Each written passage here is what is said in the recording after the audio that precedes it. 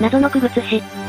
ブースター5で登場した、召喚、反転召喚で、ライフポイントを回復する効果モンスター。モンスターの召喚、反転召喚については、自分、相手フィールドの区別がなく、回復についても、1ターン中の回数制限はないが、特殊召喚や、自身の召喚では回復しない。血の代償で、通常召喚権を増やし、減ったライフポイントを、謎の区別しで回復するコンボは、エクストラ R2 付属の、ルールビデオでも紹介されていた、公式コンボだったが、現在は、血の代償が禁止カードのため、使用できないコンボとなっている。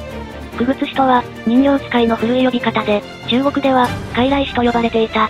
日本では、平安時代の記録が残されており、各地を回る芸人の一座を、区別師と呼んだが、区別師の中には、自社に抱えられ、人形劇を披露する、日本で初めてと言われる、職業芸能人となったもの。江戸時代に、語り、三味線、人形使いの産業からなる、人形浄瑠璃に発展し、重要無形文化財に指定された、文楽など、現代まで、様々な形で伝承されている。ゲーム作品のデュエルモンスターズシリーズでは、通常モンスターとして登場しており、オリジナルのテキストには、相手を思い通りに操る人形使い、相手を思い通りに操ることができるという、恐ろしい人形使い、と書かれていた。また、OCG 未登場の、キラーパペットを降臨させるために、儀式カード、人形の儀式と、生贄2体と共に必要となる、